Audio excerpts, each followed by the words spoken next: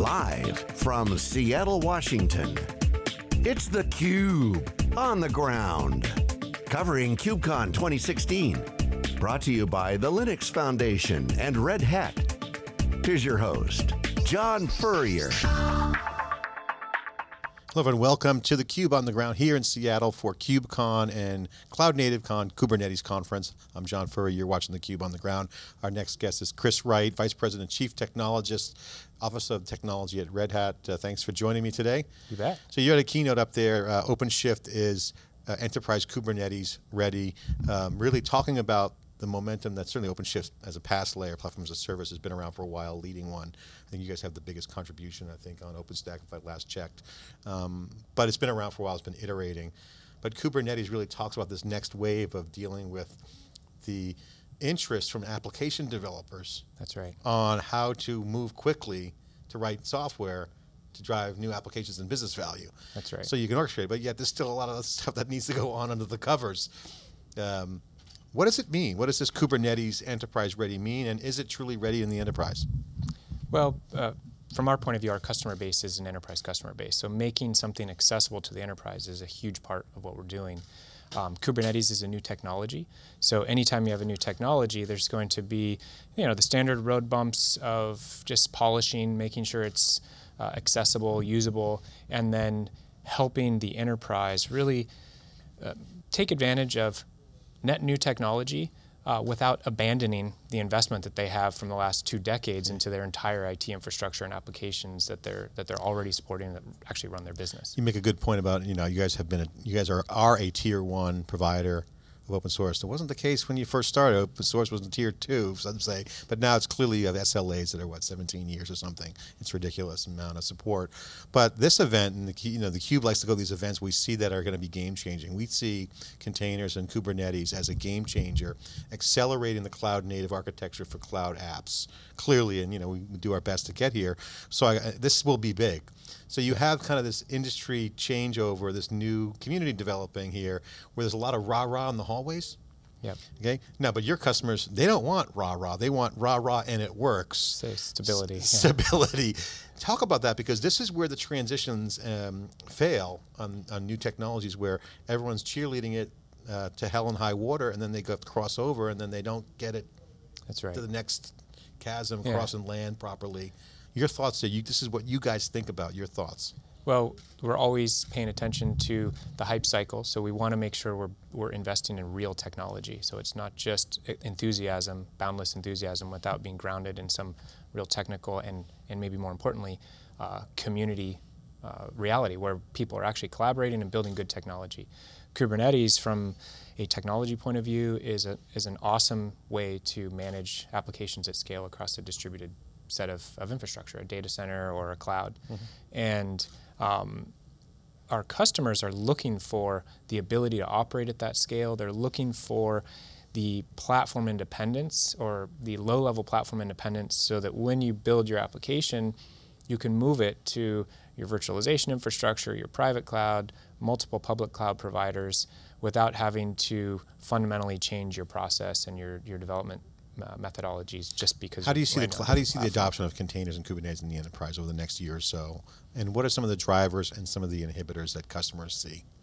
Well, the adoption rate is accelerating. So what we see is uh, actually earlier this summer there was a, a, good bit of data from an analyst showing uh, adoption rates for containers were sort of teen percentage in production in, in the enterprise, which doesn't sound huge, but what was important to note was the trajectory. So it was doubled over the year before. Yeah.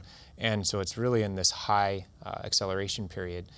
The challenges are, we just did a study on this and we, and we found that the challenges were concerns about performance, concerns about scalability, con concerns about stability, concerns about um, orchestration and integration. So it's really kind of all the basic things you need in your IT group those are top concerns for the CIOs and IT leaders. And what that means is it's a new technology. There's a lot of uh, uncertainty about how to deploy it into your, uh, into your IT group.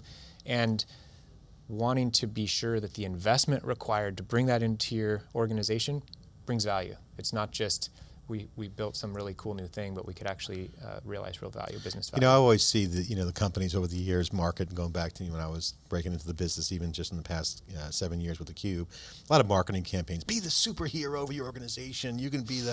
This is the IT narrative, right? Yeah. And but reality now is is that with DevOps and with this cloud native concept, the developers are truly now actually leading the charge and are have to become more business minded. So is this DevOps a bridge between the IT business because you know developers are more and more it's not all of them but a good chunk of them have to deal deal with business conversations like OpEx, CapEx, value, how to, Right. you know, kind of like an MBA if you will, but none of them really want to get an MBA, but they have to kind of get savvy and be faster.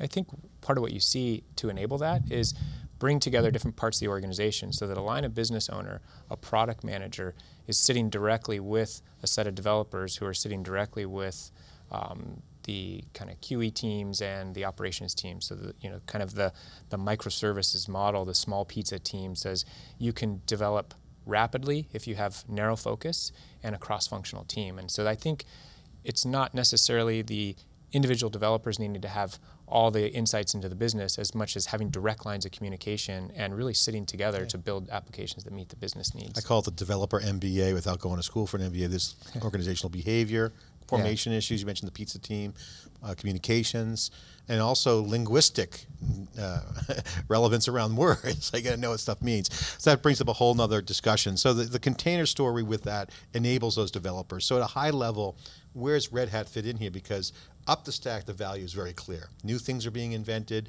new processes are being automated. So I can see the containers really enabling that. But going down the stack, there's still a lot of stuff under the covers like DNS and security That's right. that people are concerned about. That's right. So the, the survey that we looked at, security was at the top of the list, and so we think of it in terms of first and foremost for us, the foundation is going to be Linux, and it's Red Hat Enterprise Linux, and that's uh, something that we feel very confident about. Our customers are deploying that in mission critical areas uh, of their infrastructure, and and we understand the security story there. But it goes beyond that. So you're building applications. You need to make sure that as you build the application, you're, you're leveraging uh, secure content, signed content. You understand when and where um, the code came from, the image that you're that you're pulling from some registry. Where did that come from? What's the code provenance? What's the update model when you find vulnerability uh, in that in that image? Uh, what's the security policy around connecting the different components of your of your application together? So there's a lot of uh, important questions, and there's there, that's where a lot of the work is happening today um, in in communities like Kubernetes, including enabling onboarding of more traditional applications or stateful applications. So you don't necessarily have to build your cloud native app 100% stateless, and when you get to where you're storing your data in the database, you're back in some bare metal system that doesn't have the automate, uh, you know, the uh, automation around it to improve your. You know, Red Hat has such a great developer traction over the years. I mean, with Linux, you know, you just seen again. My generation was, you know, kind of first generation. What I call first generation, not probably not exactly first year, but first generation where open source really became a viable option. Mm-hmm. Certainly as a rebel, but then as it goes tier one, and you guys have done that. You've, you've had great success with communities, certainly in the enterprise. Now, Amazon Web Services has a unique go-to-market, and 10 years ago, when they targeted the, the full stack developer concept, Right. that became cloud. That obviously is what it is today. Now with hybrid cloud, there's an enterprise developer category that's evolving and changing. Yep. How does the container uh, story from Red Hat change its your appeal to developers? Has it changed their interest, their orientation, their their excitement? Can you share your thoughts to the developers that have either worked with Red Hat in the past or haven't? And how containers can make their life great, and how does that appeal to them? And what's in it for them? Yeah, well, I think the, the cool thing for us is this kind of container movement and container orchestration platforms. It's the first time in the in the industry where really different layers in the stack come together. So we're appealing to the operations teams as well as the developer teams uh, because we're providing a platform that allows a developer to move quickly. So you grab an image, you just add your code and its direct dependencies as part of the application that code may in an enterprise environment may be written in Java. We have a rich set of uh, middleware tools that many of our enterprise customers are already deploying, and we're doing a lot of work to ensure that those same uh, tools and services are part of the OpenShift platform. So it's sort of a seamless experience moving from a traditional environment to this cloud native environment. In, in addition, we're trying to ensure that uh, the actual uh, application server itself can be small footprint, fits well in a container, uh, works well in the kind of microservices model, and focusing on all of the, the messaging and interconnection between the different uh, components in the ways that we have historically for a long time. And SOA to microservices is not such a leap of, of faith. It's really just an evolution of the same concepts. You guys have a great ask the kind of the kind of cultural question. In a way, you're kind of an incumbent you, have been around for a while, been successful, but also you're an innovator because it's a software world now. Right. So you, so there must be internal conversations within Red Hat that be like, we have to disrupt ourselves. We have to constantly be innovating, because that's the big critique right now from customers. I have existing relationships with the Oracles and the IBMs, and and there's known things that are inside the enterprise that aren't going to go away. You know, you guys are one of them. At the same time, there's pressure to innovate. That's right. Your thoughts on Red Hat's innovation and what it means to developers? I, first of all, I do internally when I'm speaking, I use the phrase disrupt yourself or be disrupted. So it is very much about a mindset, being open to try new ideas, being open to the learnings that come with failed experiments. Um, but that's a um, culture at Red Hat. That's a culture at Red Hat, and it's important to keep innovation alive.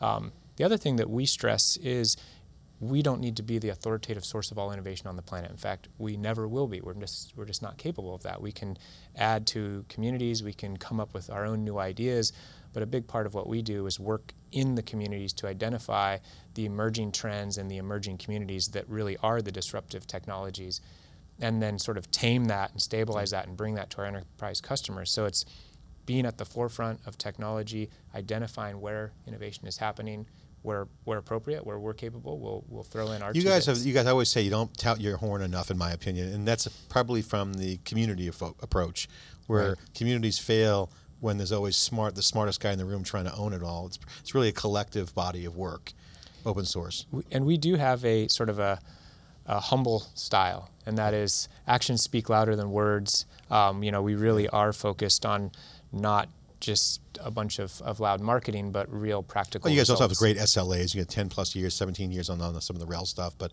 obviously you have the community, you have the track record, performance, right. and then the innovation. And by the way, being humble is not a bad thing. Look at AWS. Andy Jassy is, is probably one of the most humble guys in the world, and you know, he just knows to the grindstone. Look at them; they're they're lapping the field on the public cloud. Yeah, they're doing a great job. So, congrats, good formula. Chris, thanks for sharing your thoughts. Final comment on this show, Kubernetes Con or KubeCon and Cloud Native Con. What's the hallway conversations? Could you summarize the vibe here for the folks watching? It's just raw enthusiasm. A lot of exciting uh, work is going on here. A, a, ton of really talented developers building an amazing platform, and I think people really recognize that. So it's just raw enthusiasm, a lot of excitement. Awesome. Chris Wright, Vice President, Chief Technologist at Red Hat. This is theCUBE on the ground here. Not live, but we're recording in the room. We do whatever it takes to get the stories. This will be a big community.